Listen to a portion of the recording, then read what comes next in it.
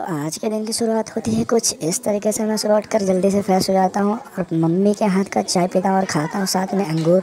और फिर मैं निकल जाता हूँ मार्केट की ओर क्योंकि मुझे लाना था कुछ सामान।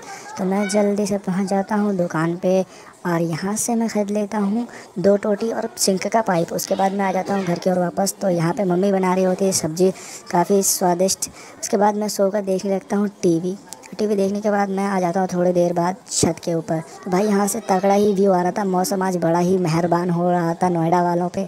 उसके बाद मैं आ जाता हूँ नीचे, फिर शाम को मैं चलता हूँ अपने खाला के साथ मार्केट तो भाई ममूरा कबीर संडे को मतलब क्या ही बताएँ। उसके बाद हम आ जाते हैं खाला के पास तो यहाँ पे हम लोग करते हैं बहुत ही मस्ती और फिर हम आ जाते हैं घर में।